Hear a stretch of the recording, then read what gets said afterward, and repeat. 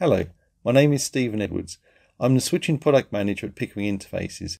We have recently enhanced our 40 42 785C range of SP4T and SP6T microwave multiplexers with the addition of 67 GHz terminated modules to support the latest requirements of the 5G and semiconductor test sectors.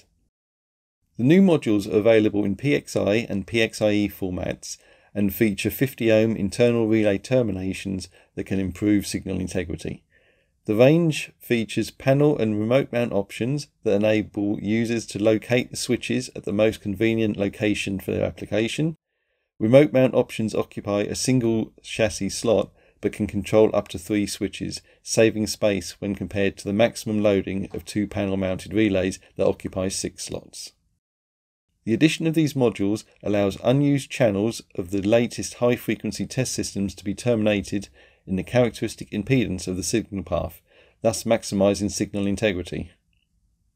Along with these new modules, the entire 40 and 42 stroke 785C range of microwave multiplexers now includes a relay cycle counting feature, with this feature, the number of operations per contact is stored on the module and can be used to determine if a relay contact is approaching end of life.